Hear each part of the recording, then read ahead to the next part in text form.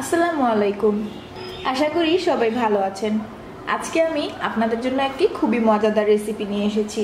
আজকে তৈরি করব ডাল পুরি। চলুন শুরু করা যাক। এখানে আমি একটি মিক্সিং বলে দেড় কাপ পরিমাণ ময়দা নিয়েছি। এর মধ্যে দিয়ে দিব দু টেবিল চামচ পরিমাণ সয়াবিন তেল। আর দিয়ে দিচ্ছি স্বাদ মতো লবণ। এবারে খুব ভালো করে একটু মাখিয়ে নিচ্ছি। দেখুন, আমি খুব ভালো করে মেখে নিয়েছি।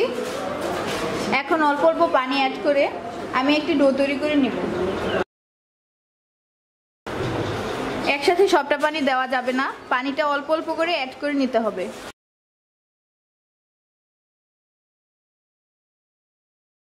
পানিটা দেওয়ার পর এভাবে খুব ভালো করে ময়ান করে নিতে হবে। দেখুন ডোটা আমি তৈরি করে নিয়েছি।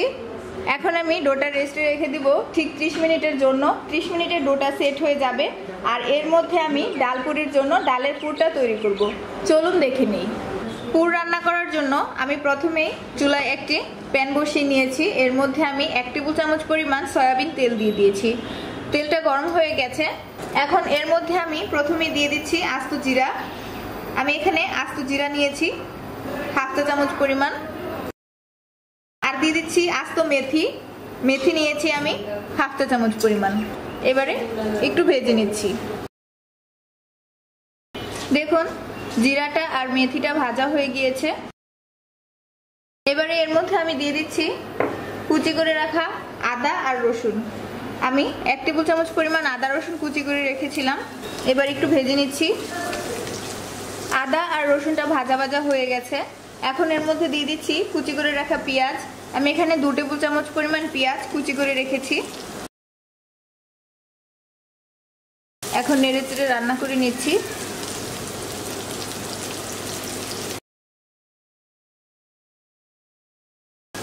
আমি দুইটি শুকনা মরিচ ভেজে তারপর গুঁড়ো করে নিয়েছি, দিয়ে দিচ্ছি। আপনারা চাইলে শুকনা মরিচের পরিবর্তে লাল মরিচের গুঁড়াটা দিতে পারেন।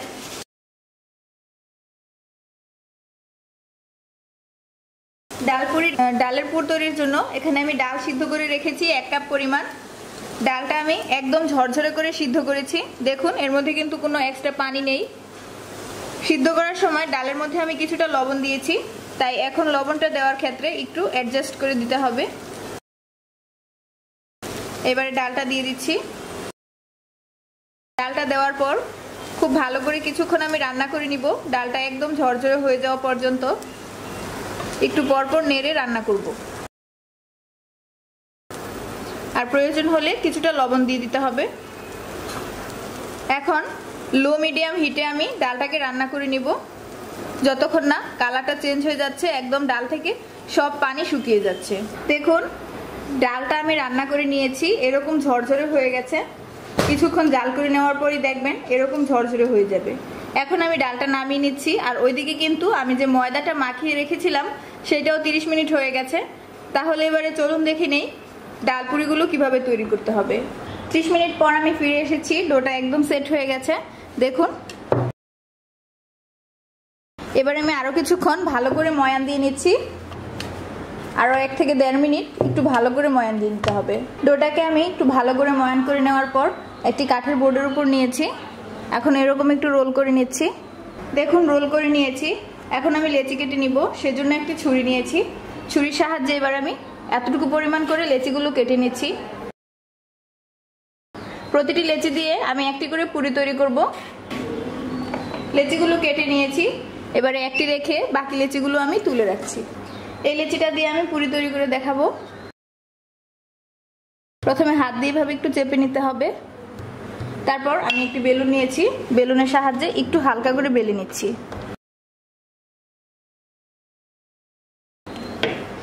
এইভাবে একটু বেলে নিতে হবে। এবারে হাতের তালুতে নিয়ে এর মধ্যে আমি দিয়ে দিব পুর। আমি যে ডালের পুর তৈরি করে রেখেছি, সেখান থেকে এক চামচ পরিমাণ পুর আমি এর মধ্যে দিয়ে দিচ্ছি। আপনারা চাইলে পুরটা কম বেশি দিতে পারেন, সেটা নিজেদের পছন্দের ব্যাপার। এখন এইভাবে মুড়ে দিচ্ছি। অবশ্যই খুব ভালো করে মুড়িয়ে নিতে হবে, তা না হলে কিন্তু বেলে নেওয়ার সময় ভিতর থেকে ডালের পুরটা বেরিয়ে যাবে। ঠিক এইভাবে মুড়ে নিতে হবে। মুড়ে নেওয়ার পর এভাবে উল্টে রাখতে হবে। আমি আরও একটি করে দেখাচ্ছি।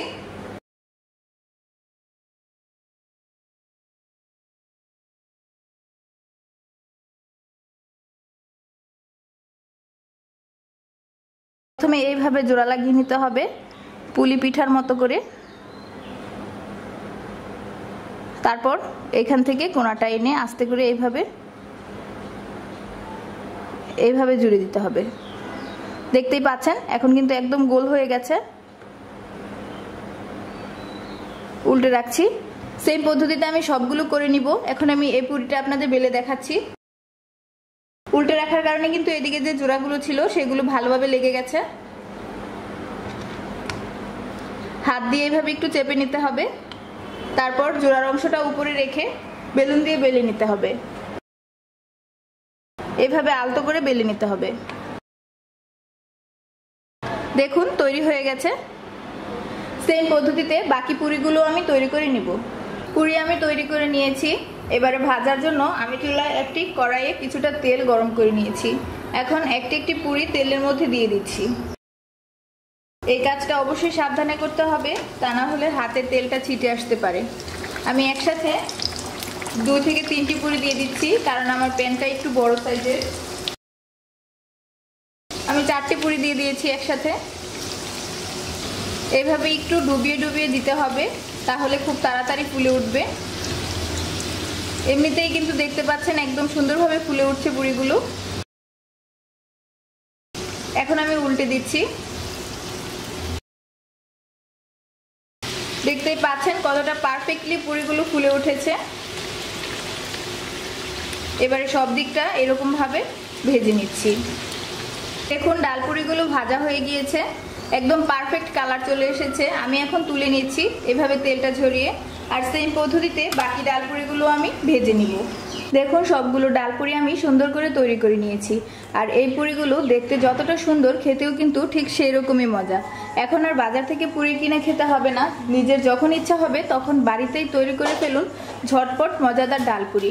আমি একটি পুরি ছিঁড়ে দেখাচ্ছি, ভিতর দিক থেকে ঠিক কতটা পারফেক্ট হয়েছে। দেখুন, একদম ফুলকো হয়েছে আর ভিতরে রয়েছে মজাদার ডালের পুর। আমার ডালপুরি রেসিপি ফলো করে যদি আপনারা বাড়িতে তৈরি করেন, তাহলে কিন্তু ঠিক এরকমই পারফেক্ট হবে, দেখতে সুন্দর আর খেতে অনেক মজা। আমি আশা করি আপনাদের সবার কাছে আমার ডালপুরি রেসিপিটি খুবই ভালো লাগবে। আর যদি ভালো লেগে থাকে, তাহলে অবশ্যই লাইক কমেন্ট অ্যান্ড শেয়ার করবেন। আর এরকম মজাদার খাবারের আরও নতুন নতুন রেসিপি পেতে আমার চ্যানেলটি অবশ্যই সাবস্ক্রাইব করবেন। আজকের মতো এখানেই বিদায় নিচ্ছি। তবে আগামী পর্বে দেখা হচ্ছে আরও মজাদার নতুন রেসিপি নিয়ে। সেই পর্যন্ত সবাই ভালো থাকুন, সুস্থ থাকুন। আল্লাহ হাফিজ।